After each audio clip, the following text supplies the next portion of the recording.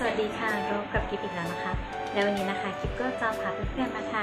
ก key cover strawberry กันนะคะ แล้ววันนี้นะคะกิฟก็ทาลิปสีแบบว่าออกส้มๆนะคะสวยมากๆเลย มาค่ะเรามาถัก strawberry กันเลยนะคะ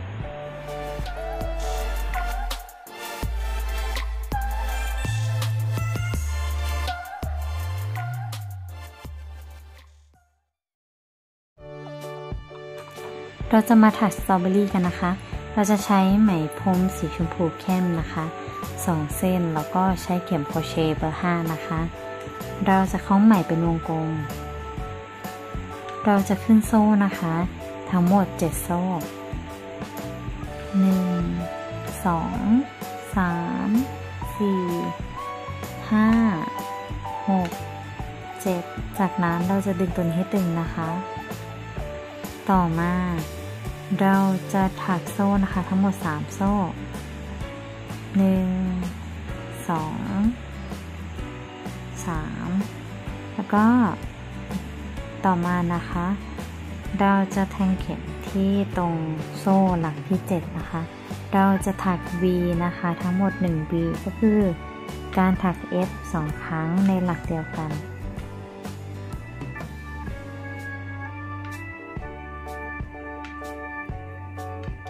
จากนั้นนะคะเราจะถัก 1F นะคะ ที่หลักถัดไป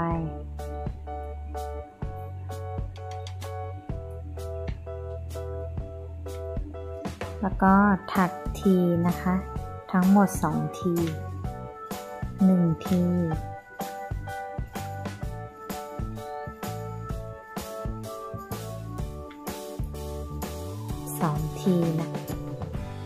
จากนั้นเราจะถัก x นะคะทั้งหมด 6x 1x 2x 3x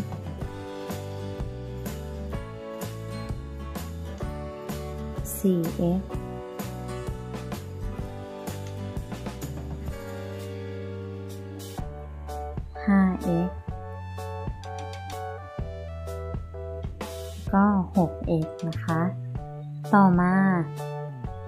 จะถัก 2 ทีนะคะที่ตรงนี้1ที2ทีแล้วก็ 1f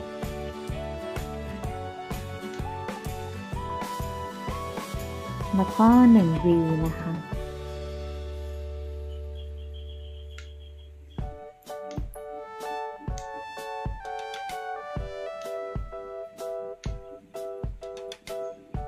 แล้วก็หลักสุดท้ายของแถวนี้เราจะถัก 1f นะคะ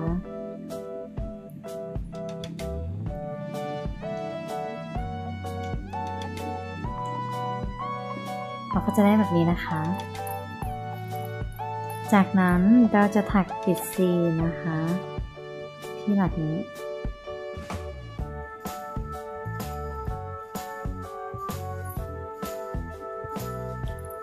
ต่อมาแถวที่ 2 เราจะขึ้นโซ่3 1 2 3ต่อมานะคะเราจะถัก 2V นะคะลงในหลักนี้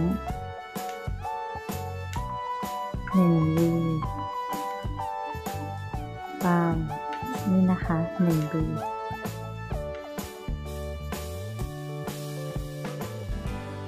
แล้วก็ตอนนี้อีก 1V นะคะ เท่ากับ 2V นะคะ จากนั้นเราจะถัก F นะคะ 1F แล้วก็เราจะถัก T ทั้งหมด2 T 1 T 2 T นะคะ จากนั้นเราจะถัก X นะคะทั้งหมด 6X 1X 2x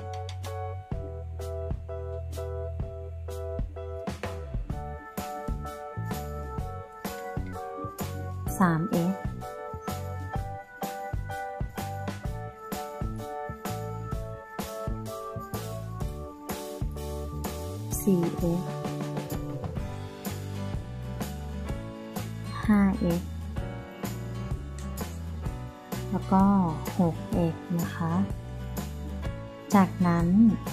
จะถักทีนะคะ2ที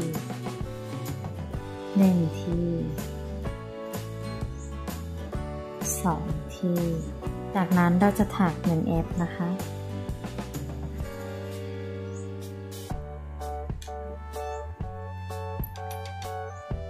แล้วก็ 2V แล้ว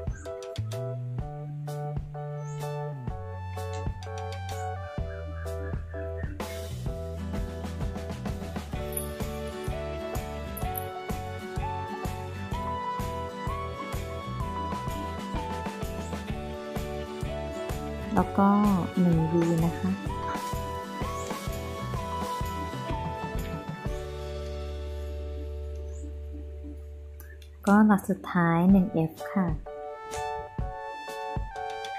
แล้วก็จากนั้นเราจะถักปิดซี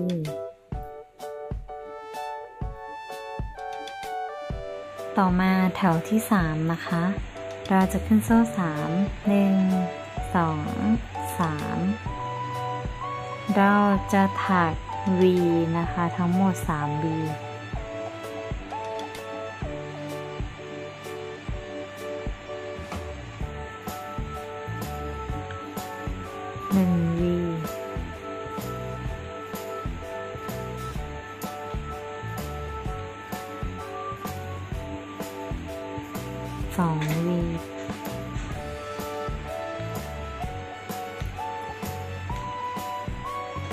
ก็ 3V นะคะ จากนั้นเราจะถัก 1F นะคะ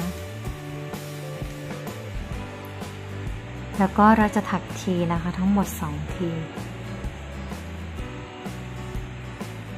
1ที2ทีนะคะ จากนั้นเราจะถัก x นะคะ ทั้งหมด 2x 1x 2x แล้วก็เราจะถักปิด c นะคะ ทั้งหมด 4 หลัก 1 c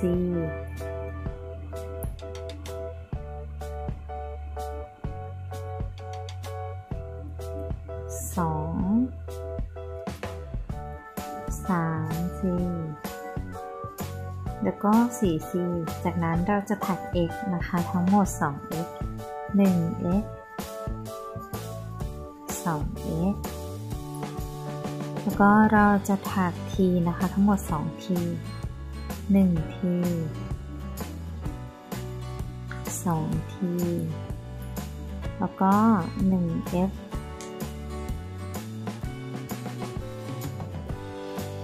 แล้วก็เราจะถัก V ทั้งหมด 3V นะคะ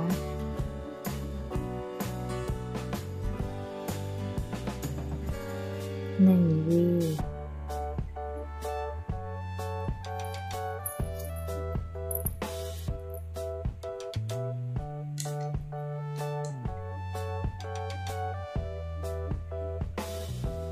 สอง V แล้วก็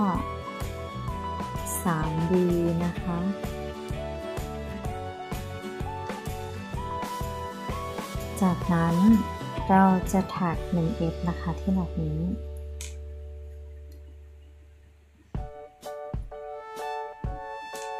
แล้วก็เราจะถักปิด C นะคะ เราก็จะได้สตรอเบอรี่แบบนี้แล้วนะคะ นี่นะคะเราจะถัก 2 ชิ้นแบบนี้นะคะต่อมานะคะเราก็จะนำชิ้นงาน 2 ชิ้นนะคะ มาประกบเข้าด้วยกัน โดยเราจะนำด้านหลังนะคะ ประกบเข้าด้วยกันแบบนี้ จากนั้นนะคะ เราก็จะนับแบบนี้นะคะ 1 2 3 4 5 หลักที่ 5 นะคะ เราก็แทงเข็มเข้าไป ฝั่งนี้ก็5เหมือนกันนะคะ 1 2 3 4 5 ก็คือหลักนี้ เราก็จะได้แบบนี้นะคะ จากนั้นเราก็จะ แทงเข้ามาที่หลักนี้ แบบแทงขึ้นแทงลงนะคะ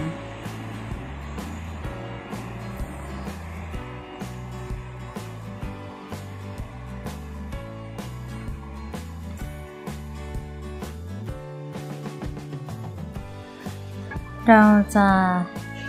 เย็บมาถึงหลักที่ 5 นะคะ เดี๋ยวเราจะนับก่อน หนึ่งสองสามสี่ห้าก็คือหลักนี้เนาะหลักนี้นะคะ เราก็จะได้แบบนี้นะคะ ต่อมานะคะเราจะใช้ไหมพรมสีเขียวสองเส้นนะคะแล้วก็ใช้เข็มโครเชต์เบอร์เจ็ดนะคะ เพื่อที่จะมาทำกีบใบของสตรอเบอรี่กันนะคะ โดยที่ว่ากีบใบนะคะ เราจะ เราจะถักแบบนี้นะคะ อันกลางเราจะถักทั้งหมด 5 อันนะคะ อันกลางจะอยู่ตรงนี้นะคะ ตรงนี้คือกึ่งกลาง แล้วก็เราจะเว้นไว้ 2 หลักแบบนี้ แล้วก็เว้นไว้ 2 หลัก นี่นะคะก็คือตรงนี้ อันนี้คือตรงกลางนะคะ เว้นไว้ 2 แล้วก็เว้น 2 คือตรงนี้แล้วก็แทงเข็มเข้าไปเลย แทงเข้าไปข้างในเลย แล้วก็ เราเกี่ยวไหมเข้ามาแล้วก็เราถักล็อกไหมไว้แบบนี้นะคะ จากนั้นนะคะเราก็จะถัก F 3 F ลงไปตรงหลักนี้นะคะ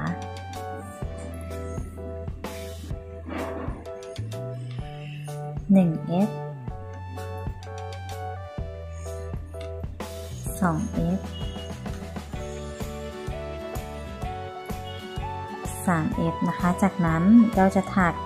โซ่ 1 โซ่นะคะ แล้วก็เราจะถัก 3f ลงไปที่หลักนี้ก็คือเว้นตรงนี้ไว้ 2 อันแล้วก็ตรงนี้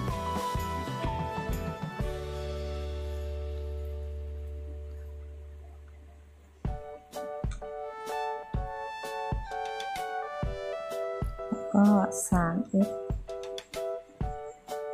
นี่นะคะ จากนั้นเราจะถักโซ่ 1 โซ่ แล้วก็เว้นไว้ 2 หลัก แล้วก็ เราจะถัก f นะคะ ทั้งหมด 3f เหมือนเดิม 1f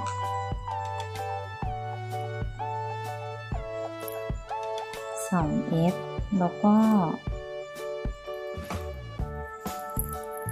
3f นะคะ แบบนี้เราก็จะได้แบบนี้นะคะ จากนั้นนะคะเราจะถัก x นะคะที่แบบนี้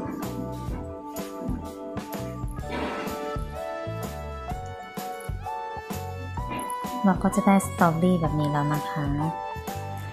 ต่อมานะคะเราจะมาทำลายของสตรอเบอรี่กันนะคะ เราจะใช้ไหมพรมหนึ่งเส้นนะคะร้อยเข้ากับเข็มเย็บไหมพรม จากนั้นนะคะ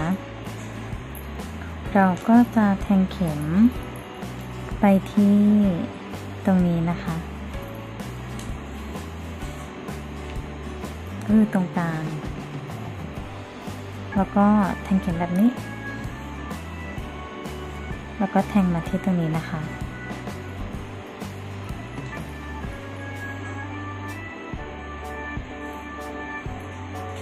แล้วก็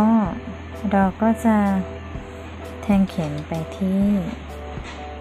ตรงนี้นะคะ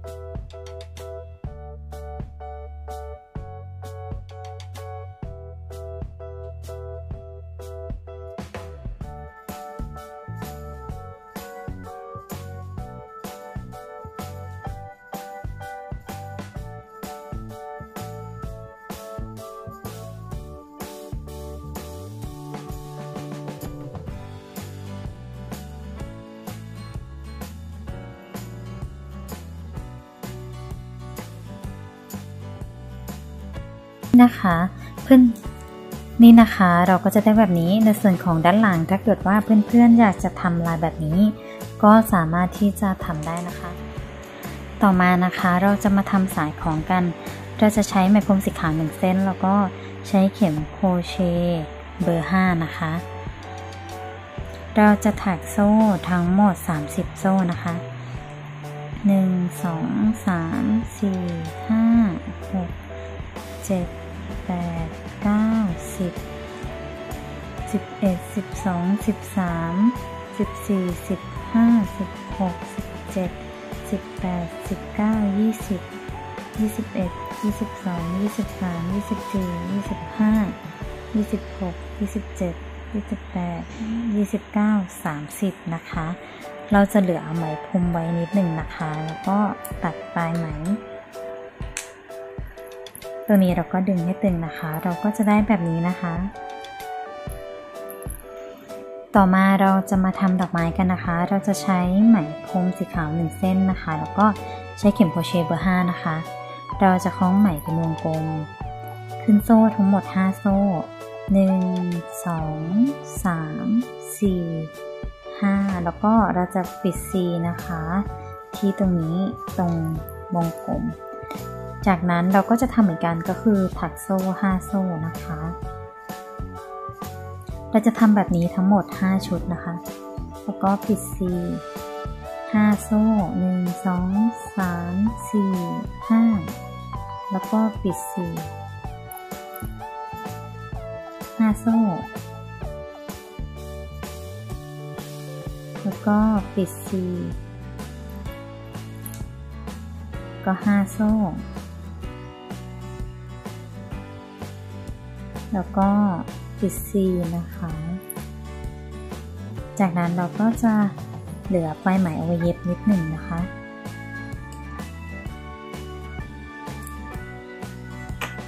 แล้วก็ดึงออกเลย ในส่วนของตัวนี้นะคะ เราก็จะดึงให้ตึง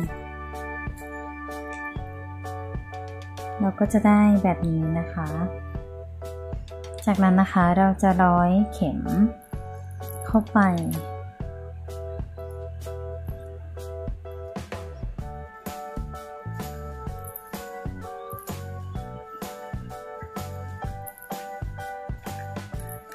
จากนั้นนะคะเราก็จะนำเข็มของเรานะคะ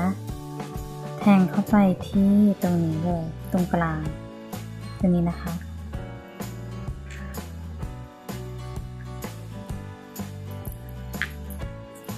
แล้วก็เราจะดึงขึ้นมาแบบนี้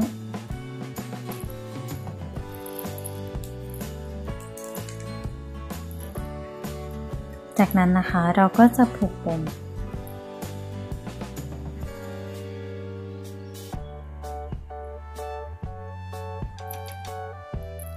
ในส่วนของดอกไม้นะคะ ตัวนี้เราก็จะผูกปมแบบนี้ แล้วเราก็ร้อยเข็มเข้ากับตัวนี้เลยนะคะ จากนั้นเราก็จะเย็บตรงนี้ก็คือแบบเราจะเชื่อมกันแบบนี้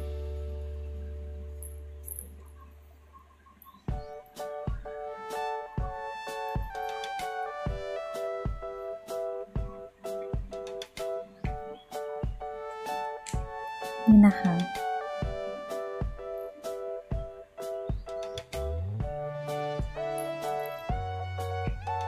แล้วเราก็นำมาผูกกัน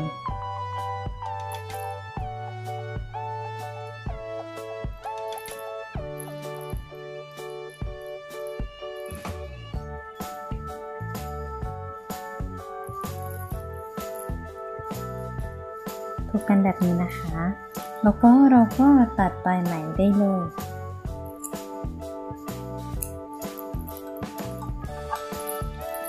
แล้วก็ต่อมาเราจะมาทำเกสรของดอกไม้กันนะคะ เราจะใช้ไหมพรมสีเหลืองหนึ่งเส้นนะคะร้อยเข้ากับเข็มเย็บไหมพรม แล้วเราก็ ต่อมานะคะเราก็จะมาทำเกสรของสตรอเบอรี่กันนะคะ เราจะแทงเข็มเข้าไปที่ตรงกลางนะคะ แล้วก็เกี่ยวไหมพรมขึ้นมา แบบนี้นะคะ แล้วก็เราก็เอาค้างไว้ก่อนนะคะ จากนั้น จากนั้นเราก็จะผูกปมนะคะแบบนี้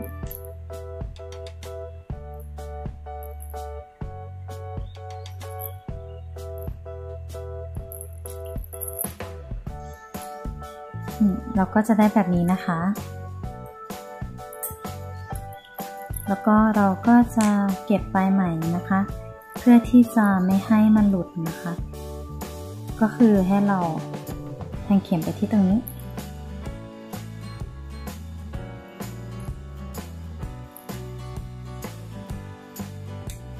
แล้วก็ผูกกันนะคะ ได้แบบนี้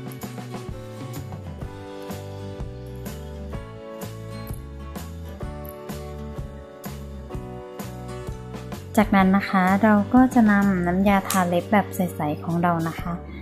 มาทาเพื่อล็อกไหมนะคะมาทาตรงปมเพื่อเป็นการล็อกไหมพรมเอาไว้นะคะ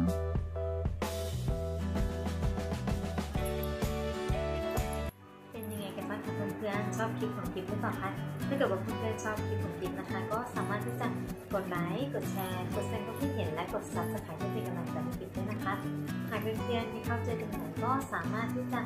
คอมเมนต์หรือว่าสามารถที่จะเข้าไปคุยกันได้ที่แฟนเพจของกิ๊บนะคะเดี๋ยวกิ๊บจะทิ้งลิงก์ไว้ให้